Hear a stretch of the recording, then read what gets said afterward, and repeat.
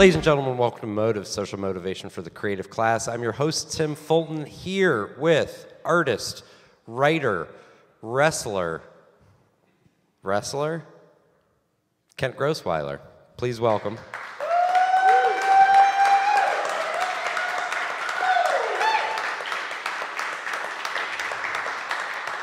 How's it going? Good, good. Am I blushing? I feel Yeah, like, you look. You look like a little I- flushed from the attention. I was trying to like come up with like you look like mm, right now, and really it's just sort of you're just like hmm, I'm just the happiest old lady you've ever met.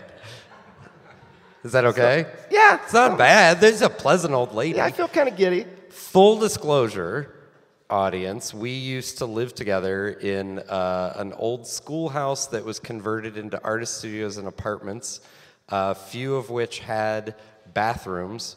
Uh, you and I used to share, not together or at the same time, but a shower every every day.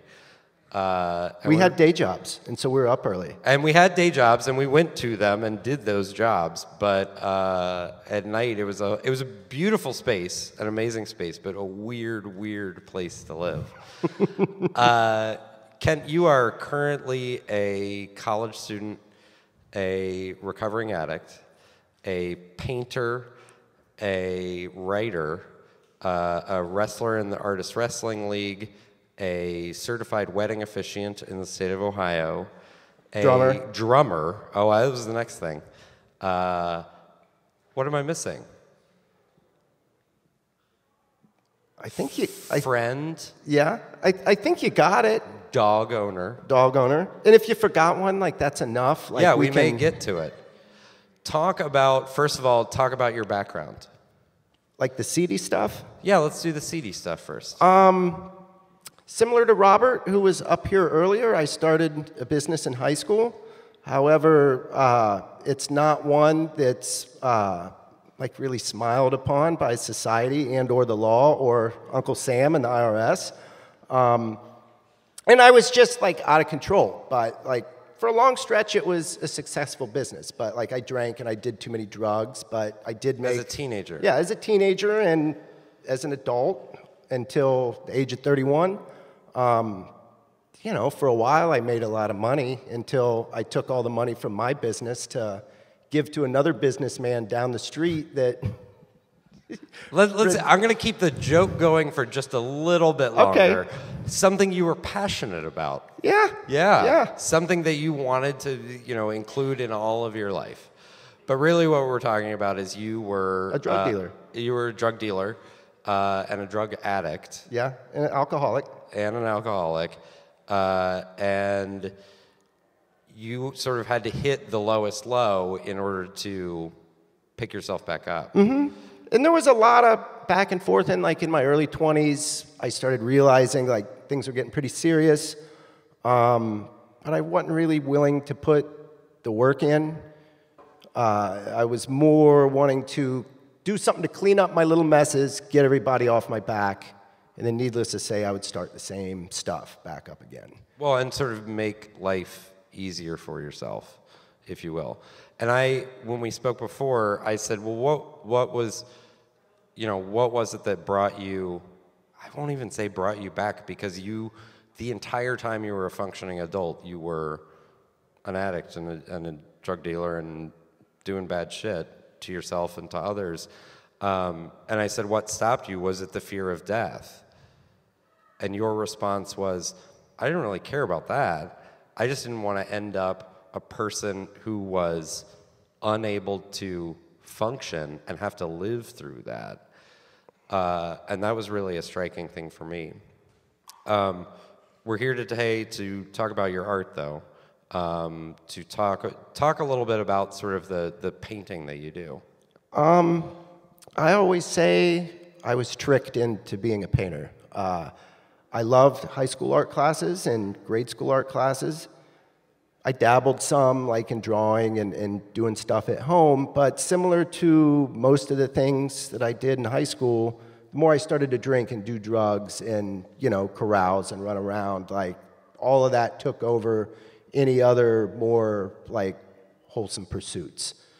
And uh, 2005, like it was early on in a friendship with uh, another fantastic local artist, Rob Jones. I can't say enough good things about Rob. Um, if anybody's not aware, like, do yourself a favor, look his work up, you know, on Facebook, Instagram. He's a phenomenal painter, all around artist.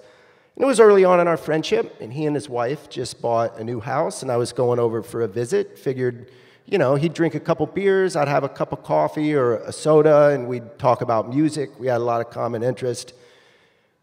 He was showing me his new, you know, workspace studio in the basement, and he was like, "I need you to paint the door," and I was like, "No, like." And, I well, and to be clear, he wasn't asking you to like do the trim or like or just painted a different color. He was asking you to create a piece of art. Yeah, a on large, the door. a very large scale, like artistic painting on the door. And uh, you know, I had mentioned before, like um, playing in bands and and working on songs and crafting the songs. And sometimes, if some of my bands like practiced in a practice space with other bands, you know, if there were guys that were really good friends of mine and they wanted to pop their head in and listen for a minute, like no problem. Like we had history. But if it were guys in bands or ladies in bands like that I didn't know and they wanted to hang out and listen, I'd be like, no, you guys got to go. And I had mentioned that Tom Waits interview about certain people being in the studio, and he was like, no, that's like people watching me take a bath. Right. You don't want you you- you don't necessarily. I think the adage a lot of people use is, "I'm not interested in showing people how the sausage is made." Yeah. You know what I mean? I just want to give them the sausage. Like, no dirty pun intended, but yeah. It's good sausage. and so you have that experience where someone sort of brings you back to this thing that you experienced in grade school, in high school. Um, and then do you keep doing it? Do- Is it, It took it took a little while, and uh, like the only reason I did it is I didn't want my brand new friend, who I was just getting to know, to think I was a huge jerk and like not want to hang out anymore. So I suffered through it and painted the door, and it was awful. It was like this, like I didn't know how to do it, so I painted all the outlines, and then I colored it in like it was a coloring book, and it looked like just this re like a five year old tried to do a portrait of idiot era I- Iggy Pop mixed with Carol Burnett. Like it was heinous. and uh, so then when I finished, and it probably took five visits to get it done because it was big. He was like, now do the other side of the door. But I was like warmed up, like if that makes sense. And like the paint, instead of looking very static, like I was starting to blend it a little bit and it had some motion in it and I was starting to ask him questions, and I was starting to look at his paintings like, oh, how do you make this look like it has form without uh, like a, a solid outline? Like, how do you do some shadowing and how do you do some highlights? And it was probably another five years of only painting with him when I would visit, and at the end of the year, I'd have like a painting or two. In the middle of 2010, I just got obsessed and never stopped. and so what do you what do you think his motivation was for asking you to do He's that? a natural born teacher. Like right now, he's an art school teacher in the Olentangy School District. And But why did he ask you to paint his door? uh, This I'm putting you on the spot. We didn't, you know, we didn't I talk think he, about this before. if I were just to venture a guess, I think it was to like share something. And, uh, you know, he wasn't teaching school at the time. He was in the process of getting his degree to be able to uh, be a teacher, but he was doing like a lot of work with like boys and girls clubs and, and disadvantaged youth and stuff like that. So I think it's just, you know, not only is he a phenomenal artist, but he's a very phenomenal and natural teacher. And he probably saw, uh, like a lot of my life has been people seeing things that I, I can't see. And like something that's incredible, an incredible opportunity can be hanging out right in front of my face, and I'll find a reason to do a 180 and walk the other way. And so, you know, I, I, I think he just knew. Like he, just knew. he he saw something in you, obviously. Um, just to go back to the you know seeing the sausage made slash having somebody watch you take a bath. I think it's interesting to point out that in your process, you don't want somebody to you don't want somebody to watch you practice drums. Correct. Uh, you don't want somebody to watch you paint. Both of which, though, are creating an end product for people to look at or for people to watch. And I just think it's interesting that, that those those two artistic fields can be compared in that way. Talk a little bit about what actually inspires your your your art and your visual art and your writing. I know, like from my earliest memories ever, like I've always had an insatiable desire for reading, like books, uh, listening to music, going to the movies. Like for anything my parents did wrong, um, they did a lot of things right. And I probably went to see a lot of movies that I shouldn't have as young as I was. Um, but, you know, I saw tons of movies, like, you know, The Exorcist, Richard Pryor and Gene Wilder movies. And I'm talking like kindergarten and grade school. Um, most of the time, if there were R rated movies and my mom didn't want to go, she'd take me and my friends and, and like buy the tickets. And I was encouraged to read and I read all kinds of stuff. And like my taste has always been huge and varied. And I had two older sisters and both of my sisters and my mom and dad were always listening to music, and all of their tastes were varied. And I just soaked all of it in. And I think at some point, like, I just start, it's like I get filled to capacity and I regurgitate some of it out, like with my own spin on it. And I think life experience factors in as well, and, and to some degree, um, maybe more so obviously to people that know me with the writing because a lot of times, like, I probably think most authors, like, they write about what they know and then they veil it in some capacity. And so you put it back out there into the world. And it's almost sort of a, a therapy to an extent. Even if it's a good positive thing, even if it's a you know a memory from a film or so or some minor aspect of a film, it's it's sort of putting it back out there into the world. What um, you are at this point a you're a working artist. You're able to um, just do your work, which is awesome. Mm-hmm. It's something a lot of people uh, strive for. I'm not making it rain, but I'm getting by, and, and I'm grateful. I'm right. Grateful. Well, I mean, you're paying the rent, right? And that's the biggest thing. I'm not very cooperative at like being at the same place 40 hours a week. Yeah, like, it's not easy jobs are for suckers. That's the biggest secret. I wouldn't say that, but like uh, uh, my my hardwiring and what's required from somebody, I think it like the 40 hour a week, nine to five.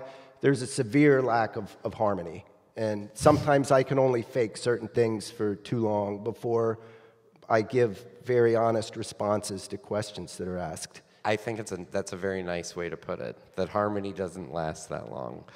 What, um, what advice would you give to someone who is interested in being a working artist? Like, what are, what did you run up against in terms of, I know that you've talked about sort of, you know, being good at balancing your time for shows slash commissions to like make sure that, you know, the bank account is staying flush, at least, you know, in the range that you're making rent at the end of the month. What, what, how do you work? I think the two most important things, and like some of those things you're mentioning are very important too, but uh, like very similar to Niall and Miko. They, they go for it and they ask questions and then they iron out.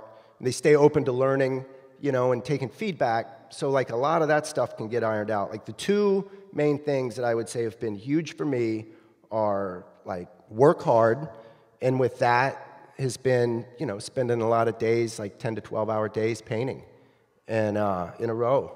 Um, and I feel fortunate that I got obsessed with it enough to do that. Like, I'm a drummer, but like I would practice the drums, but would watch the clock a lot. It's like, okay, I'm doing these exercises to the metronome, and, and so like I'm not ever gonna come close to John Bonham status if I'm dawdling and screwing off and watching the clock. But that never happened with, with painting. But the other thing is, is like, be a decent person, be accountable, uh, be reliable, um, be nice to people. Like, don't cop an attitude or be arrogant. Um, and sure, there's probably a lot of very successful, you know, artists, musicians, writers that are just straight up asswipes, but uh, that, that's not what feels right to me. Like, um, and I feel very fortunate about that. Like, it, that's a product of being in treatment for six months. And uh, I think sometimes sitting in the middle of 19 other treatment mates and a counselor hearing what a son of a bitch I've been, um, I, I started, it started being important to me to be like a decent person and, and you know, to be honest and thoughtful and, and selfless. And if somebody needs help, help them out. Um, if I told somebody like I was going to work something out with them for like a piece of art and you know, other opportunities come and, and it sets the, the date back a little bit. And, you know, I've been in a situation where somebody offered me more money to hurry up and get it done. And I was like, nope, we made a deal. Like, I'll take, I'm sticking to our original deal. I'm going to get this done. And, you know, it'll take precedent right now. So it's fair to say that you would attribute your success to do the work and be a nice guy. Mm-hmm. Good. I mean, I think connections are important. Like connections are have got me everywhere where I'm at career-wise, and uh, if I was showing my ass when those handshakes were made, like I don't think I'd be invited back the second time. I think I agree with that. Ladies and gentlemen, please thank Kent Grosswiler.